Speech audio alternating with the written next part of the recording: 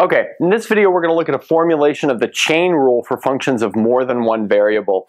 So here I've written it out all properly, but we'll look at some smaller examples that make this a lot easier to follow. So let's suppose that y is a function of m variables, so it's f of x1 through xm, and then each xi is a function of n variables, so t1 through tn.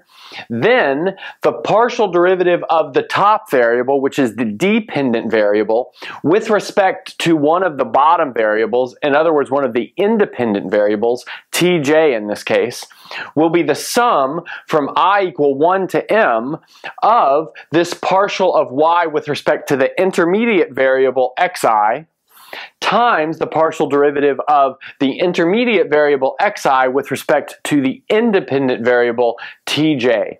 And often we look at this thing called the tree diagram for uh, these types of multivariable chain rule partial derivatives. And the idea is that you want to look, look for all of the branches from the top variable, the independent variable, to your desired uh, dependent variable. So for example, in this case, Let's say we're trying to get to tj in all cases. So you would want to look for all paths from the top, in other words, from y down to tj. So notice we've got to take the derivative of y with respect to x1 and then the derivative of x1 with respect to tj. Then we have to take the derivative of y with respect to x2, the derivative of x2 with respect to tj, and then everything in the middle, and then finally the derivative of y with respect to xm, the derivative of xm with respect to tj. And then we add all of those up as given by the sum right here, and that will give us our partial derivative of y with respect to tj. So let's look a little smaller example real quick. So let's say that we have uh, this dependent variable w, and let's say that that is a function of x, y, and z. And let's say that x, y, and z are all functions of u and v. So x is a function of u and v, y is a function of u and v, and z is a function of u and v. So we can go ahead and make our tree diagram. So W is going to depend on X, it's going to depend on Y, and it's going to depend on Z. So here we have the dependent variable, some intermediate variables, X, Y, and Z. And each of these intermediate variables are going to depend on independent variables U and V. So X depends on U and V, Y depends on U and V, and Z depends on U and V.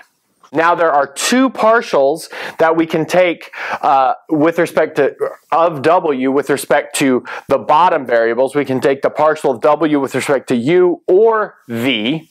And each of those will give us different paths from the top to the bottom in order to calculate that.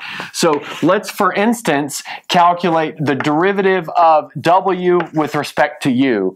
So the partial derivative. So that means we need to look for all paths from the top to the bottom variable that we want. So the first one would be given by this and that will be the derivative of w with respect to x times the derivative of x with respect to u. So let's write that. So dw partial x, partial x, partial u. So that would be going down that first branch.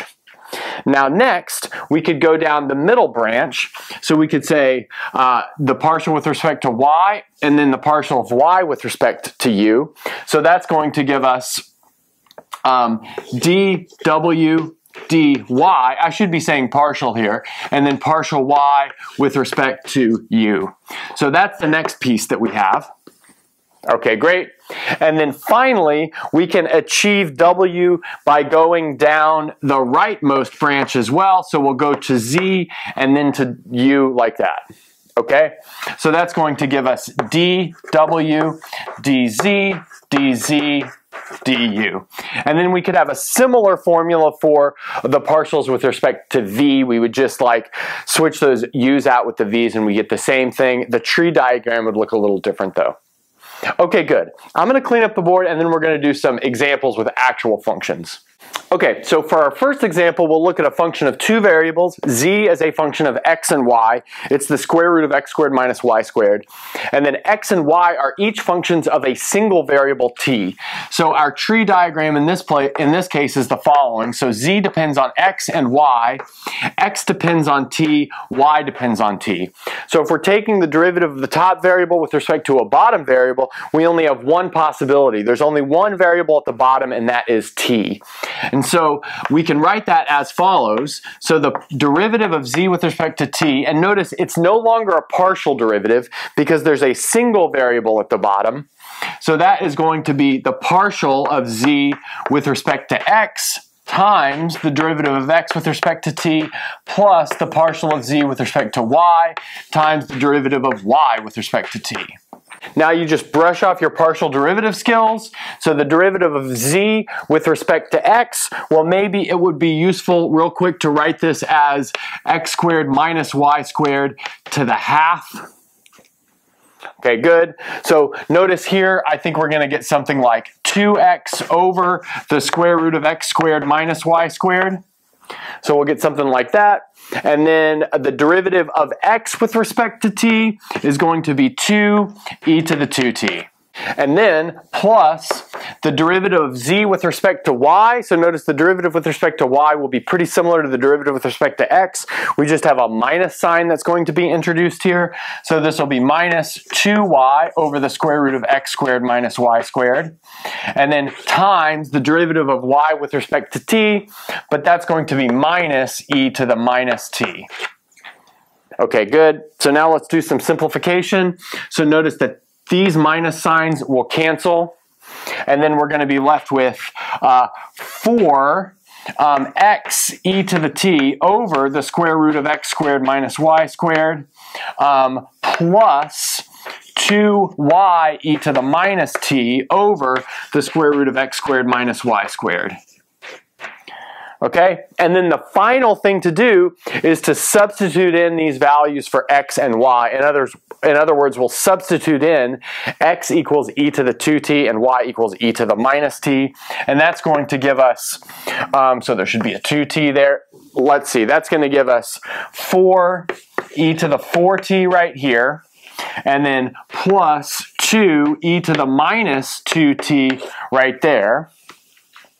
And then notice we have common denominator, so I'm combining that. And then this is easy to see that this is the square root of e to the 4t minus e to the minus 2t. Okay, good. And so that would be our final answer. Okay, I'll clean up the board and then we'll do one with two independent variables. Okay, so let's say we've got this example. We have z as a function of these two variables, x and y, but then x and y are functions of the variables u and v. So our tree diagram in this case goes in the following way. So we have z at the top, that's our independent variable. Our intermediate variables are x and y, and our dependent variables down here at the bottom are u and v. So there's two types of partial derivatives here we can take, and maybe we'll take one carefully and just sketch the other. We can take the partial of z with respect to u, or the partial of z with respect to v, and we have two branches to achieve each of those. So let's notice that in order to find the partial of z with respect to u, we're going to need to go down these two branches. And so that will give us this orange. Okay. So let's see what we get there. So that's going to be the partial of z with respect to x times the partial of x with respect to u plus the partial of z with respect to y times the partial of y with respect to u.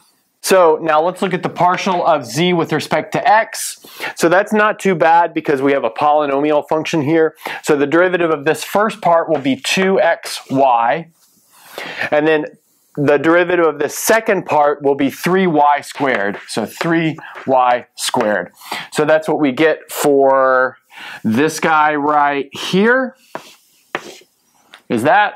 And then we have the partial of x with respect to u. So notice that that's just going to be 2u because v is a constant up in that world. Okay, good. And then the partial of z with respect to y, so that's going to give us plus x squared. The derivative of that guy is x squared if you take it with respect to y. And then plus 9xy squared.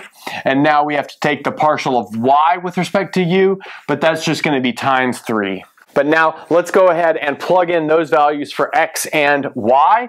So this is going to be a little bit lengthy, but we won't simplify it all the way. That's just simple algebra. So notice that's going to give us 2 times x, which is u squared minus v squared, times y, which is 3u plus v. Good. Now plus 3y squared, so that's going to be plus 3 um, times 3 plus uh, u plus v squared Good. And then all of that's times 2u. Okay, that's what we get there. And then for the second one, we'll get that's plus uh, x squared, but x is that guy up there. So we have u squared minus v squared squared plus 9 times x. So that's u squared minus v squared times y squared. So that's going to be 3u plus v squared. Good. And then that's times 3. Um, okay, good. And now you could simplify that um, and you'd be good to go. Okay, um, I think this is a good place to end it. I would say that if you wanted to take the derivative of z with respect to v, we're going to get the same thing here. We'll just take these partials with respect to v at the end. And that's just going to change the calculation, um, but not in a very difficult way. Okay, we're done.